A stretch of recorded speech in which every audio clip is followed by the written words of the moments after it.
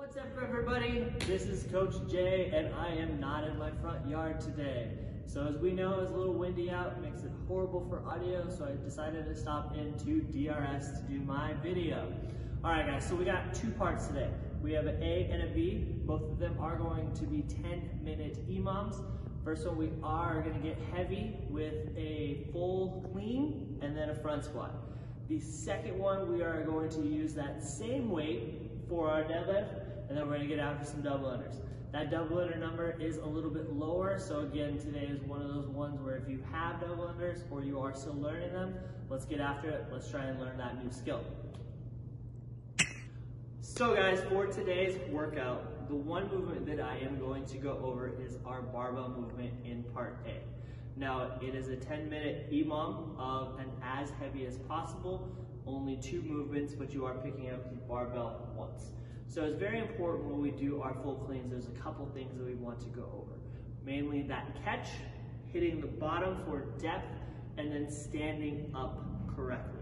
So I will go ahead and pick up the bar, our barbell. When we start out, always like to make sure that that first shoelace is going to be underneath our bar so that when we do that front squat, those hips are down, we're pulling all the way to extension, quick elbows underneath, and then making sure to hit that full depth and standing back up.